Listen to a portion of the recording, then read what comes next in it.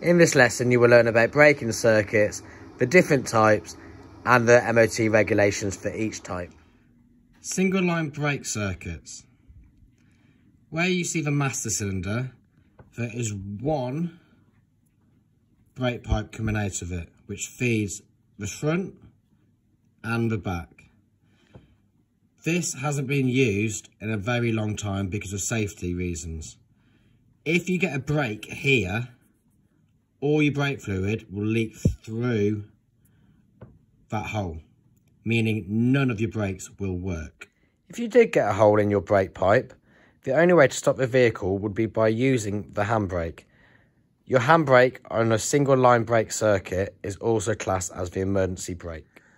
The single line brake circuits for MOT regulations are the foot brake efficiency must be 50% or above and the emergency brake, which is also the handbrake, must be 25% or above. Modern vehicles nowadays use dual line brake circuits. There are two types of dual line brake circuits. The first type of dual line brake circuit is the front to rear split. This uses a tandem master cylinder, so two pipes come off the master cylinder. From the drawing, you can see that the blue brake pipes go to the front of the vehicle and the green brake pipes go to the back. Now, if the back was to split here, you wouldn't have any rear brakes, but you would still have your front brakes. Having this, your front brakes are now the emergency brakes. The other type of dual line brake circuit is the diagonally split.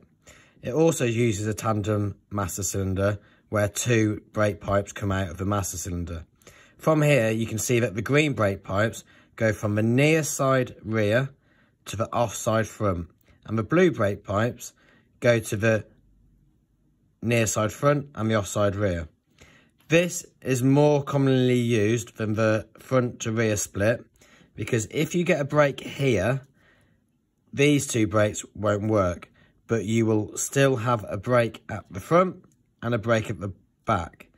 So if the green was to go, your emergency brake is still the blue brake. The dual line MOT regulations.